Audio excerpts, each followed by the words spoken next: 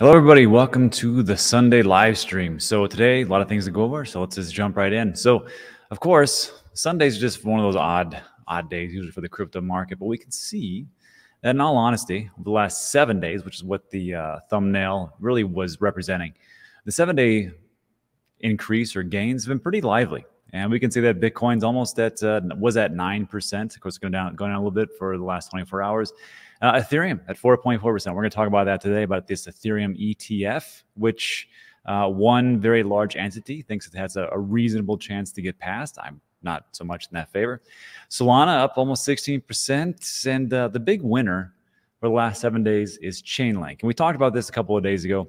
Uh, Chainlink itself has been partnering up with some pretty big names like the JP Morgans, the BNY Mellons for real world assets and transfer across the globe. And I've always said uh, it's, it's a funny thing uh, for crypto digital assets, actually investing uh, for everything that's out there. You never really know exactly what's going on in the background. Projects sound fantastic and they sound they can make all these different promises, and you're like, that's great. And then, of course, either they do or they don't implement the things they're trying to do or they're failing behind the scenes or they're doing things that you know just were mentioned in passing just a little bit as opposed to something else. And of course as time goes on you look at it you're like hmm chainlink oracle even a layer one solution real world assets. That sounds pretty decent. I can see i can get behind that. And that's why it's up 24% now that doesn't mean like uh, you don't have other things going up like near protocol and there's of course meme coins across the board because that's just how the nature of the market is. Wow, Fantom 18%, Bonk 14%. I'm all excited about that because those are in my portfolio. Anyhow, that's what we have for the market, but let's get to it. So this next week upcoming, actually it's really it really comes down to vetoing or approving. And there's three things that are going on. The first one is HJ Resolution 109. This was actually passed, or excuse me, this was actually shot down in the Senate because it was already approved. And what it was really all about was it was all about large institutions and banks being able to put our custodying crypto assets or digital assets and having them off balance or on balance. And what that means is if it's off balance, that means that it's not on their their P&L. It's it's not actually taken over. It's not on their on their documents, it's not on their accounts, which means that if it's off balance, that's safe. The problem is, is that the, the rule before everything was supposed to be on balance, and that kind of screws up everything, especially if you've taken a look at, oh, you know, those little companies like uh, FTX, Celsius, Voyager, BlockFi, they, they had everything on balance. And uh, with that, that was a problem. So it went through the House of Representatives. If you're not from the United States, uh, you know, we have to go through the through Congress, which essentially the House of Representatives and also Senate. House Representatives went through there. The Senate, it was supposed to get killed, and it actually uh, passed 60 to 38. We have two senators per state. And then from there, this is what we have. This is supposed to be, looks like it's going to get shot down or vetoed by the president of the United States because he's already put this on out on May 8th. He said, look, if you guys, if you guys vote on this and it has to come to my desk, I'm going to shoot it down. So good luck. And they, they did. They're going to point it, they're going to put it out there. So how much time does he have? Well, the Senate vote was May 16th. I'm not 100% sure that the, the clock starts because they have 10 days from May 16th, excluding every Sunday.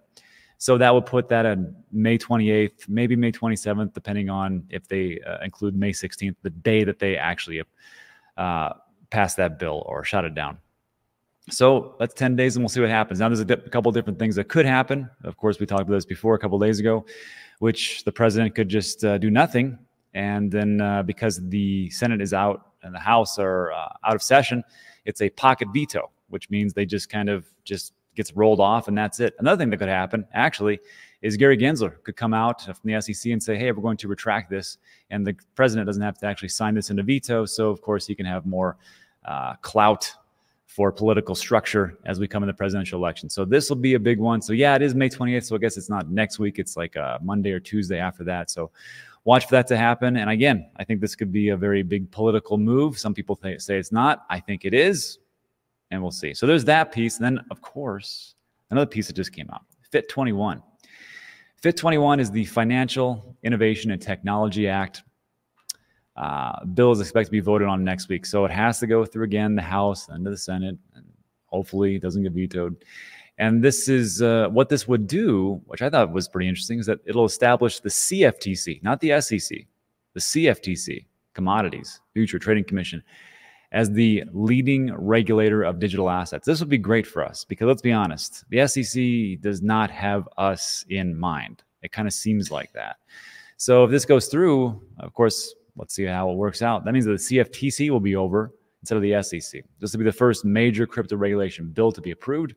Crypto Industry believes the bill is necessary to keep the U.S. competitive globally. I have to wholeheartedly agree. And the bill would be the CFTC's authority over digital assets and set clear, it should say, consumer protections, which let's be honest, Gary's doing a pretty horrible job. So with that one, that is the second one, and we'll see if that actually gets gets through. But imagine, imagine if this gets vetoed. I mean, before the 10 days, and then this doesn't make it out of the House.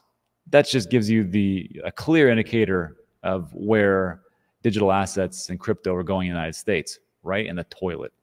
And then lastly, uh, May 23rd to May 24th, somewhere around there, we are supposed to have the final decision of the Ethereum ETF. There's no, they can't open it up for commentary. They can't push it down the road. It has to be either approved or denied. I believe it's May 24th. And a lot of people are saying that it's not going to happen except for Coinbase. Coinbase says the, the market is under, underestimating the timing and the odds of the spot Ethereum ETF approval. And they have it as high as 40%. I don't I've been wrong before on the spot Bitcoin ETF, so we'll see how it goes. But imagine if all three of these things happen in this week, which it very much could happen. Uh, danger. And we'll see how the market reacts. I will just tell you, probably not favorably, but in the long run, it'll be pretty good. That's why I dollar cost average for days, which I think are going to come up pretty soon, and we'll see how it goes. Anyhow, let me know what you think about that in the comments section.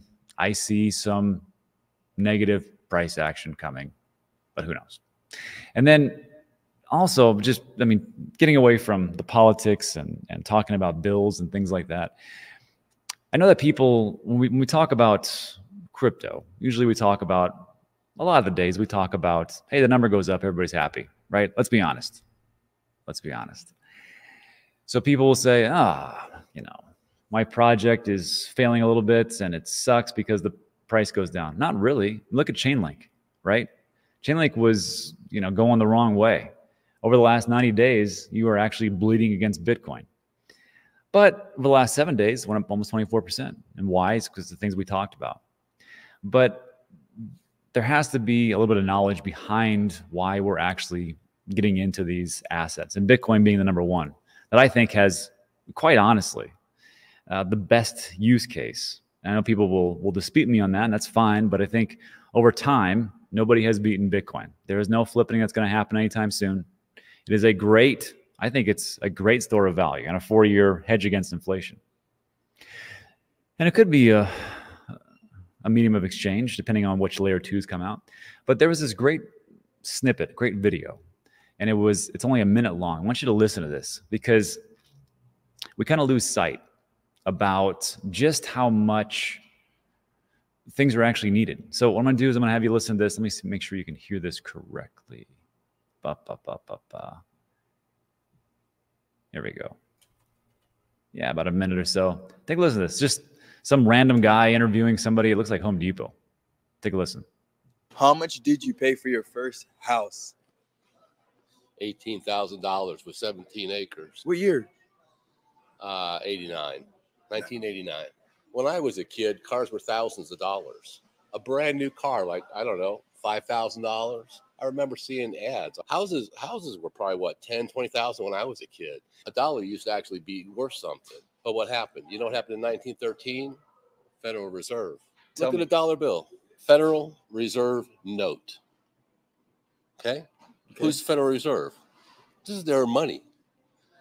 Right? Who are they? Are they feds? Are they part of the government? Are they a private organization? Are they run by banksters out of Europe? Look back in 1913. See what happened. I'm looking to into it. We got the we got to we got to say the money. Look up Federal Reserve. It's on your dollar. It's on your dollar bill. What does it mean? Who is it? Who started it? Are they are they us? Are they the U.S. government, or are they something else? see see that right there. That's what we should be talking to people about. I don't think we should really. If if you understand about the Federal Reserve and inflation, then you can totally understand Bitcoin and get behind it. Because when you just say, we start talking about Bitcoin, it's a little bit difficult.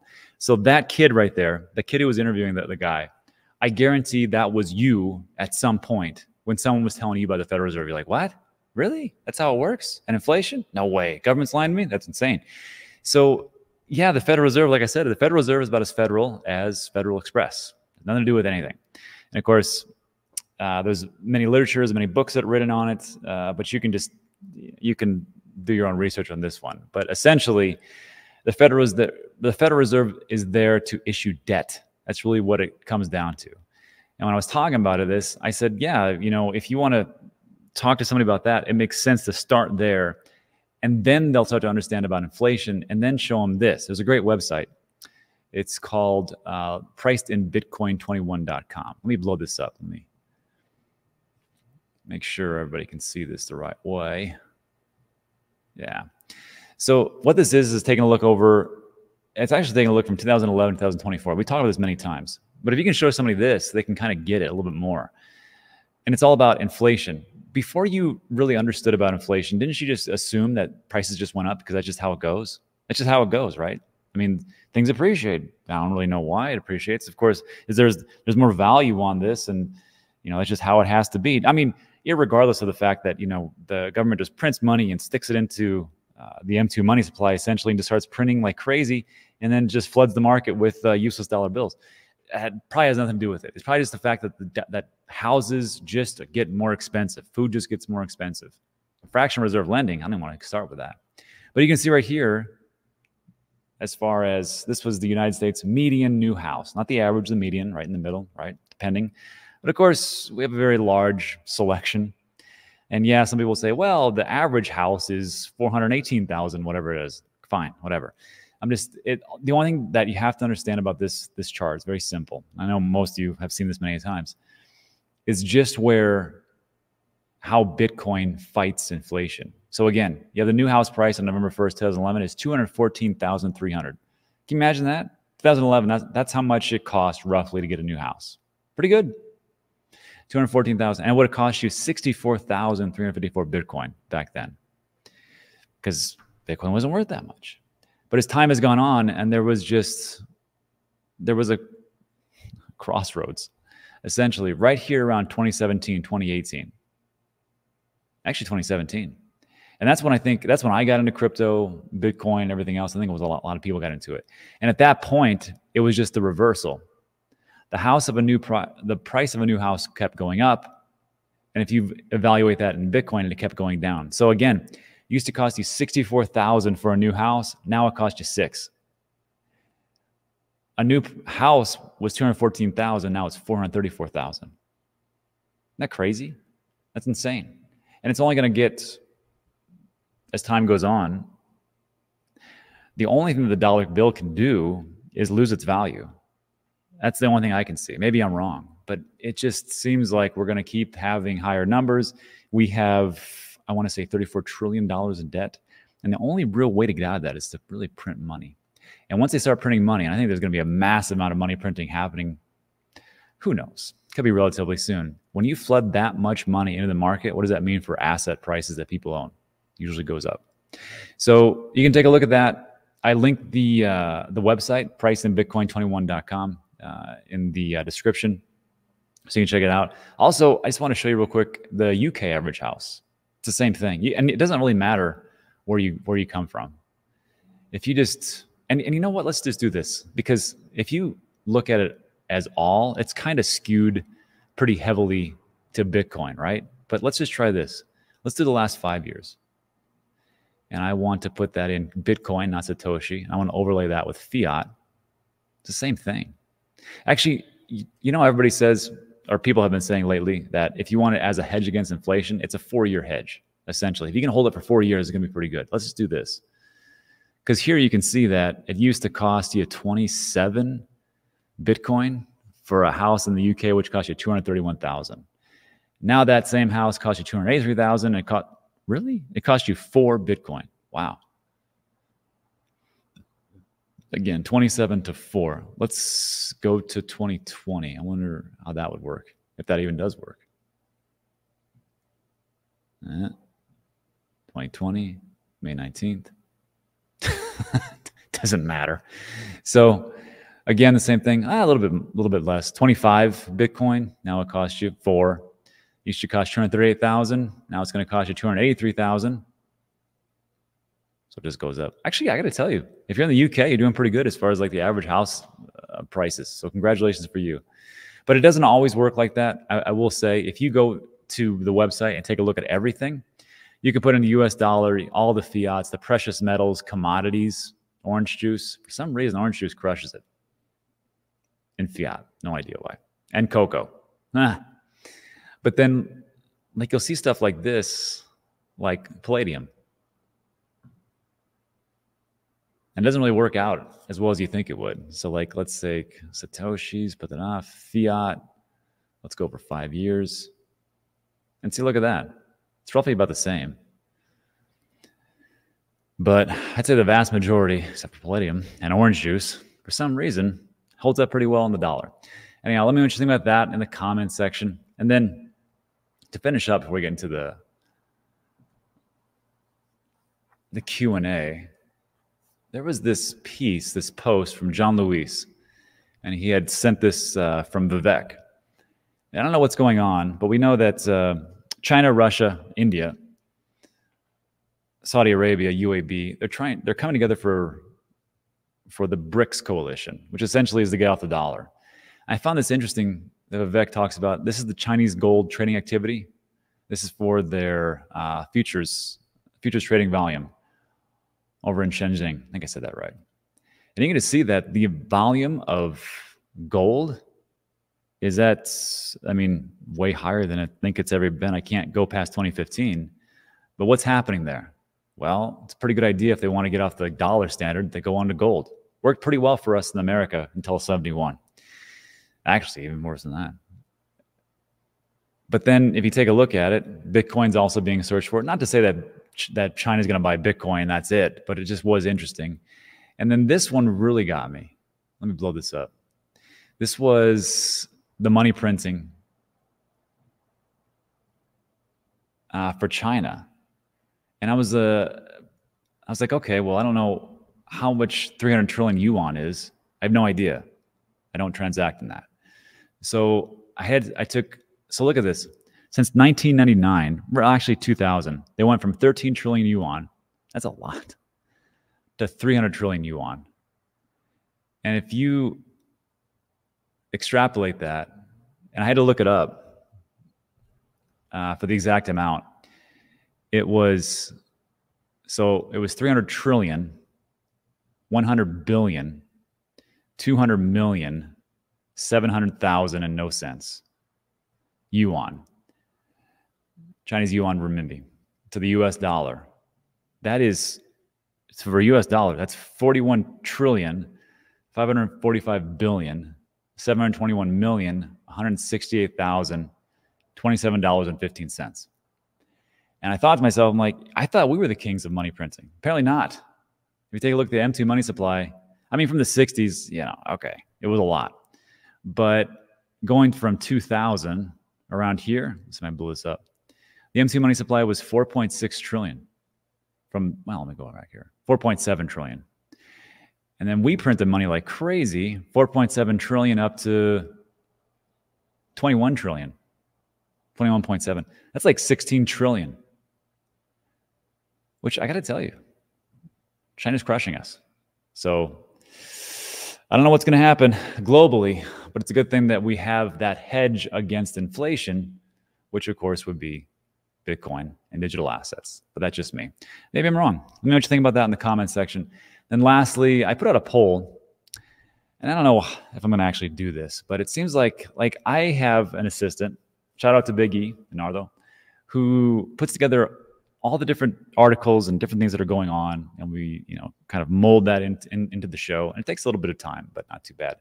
But for every one article that I actually pick to talk about, there's three that are in the lurch there's so many things going on. So I was thinking about, you know, maybe it's time to, as things accelerate, to do two streams, one in the morning and then one later in the afternoon. I don't really have, like, essentially, I don't, I have a pretty stress free life, I must admit to you guys. Um, so I put that in X, and so far, 33, 22, like 50% are saying sure. The other is four. And Then no, there's too much info at 40%. So let me know what you think about that in the comments. And we'll actually talk about that in the Q&A because who knows, I could do it.